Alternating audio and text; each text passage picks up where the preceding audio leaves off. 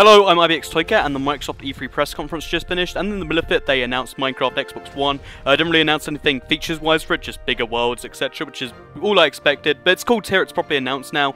Uh, Minecraft will be coming to Xbox One, which is awesome and stuff, so I'll do all my proper analysis and what I want and what I think and stuff in the description, so I don't have to spend time talking over trailer over and over again, and uh, yeah, I'm really looking forward to it, so just read the description while you watch the trailer one more time without me talking, just in case you want the music full-on undisturbed. So anyway, I hope you enjoyed the video, thanks for watching, and goodbye.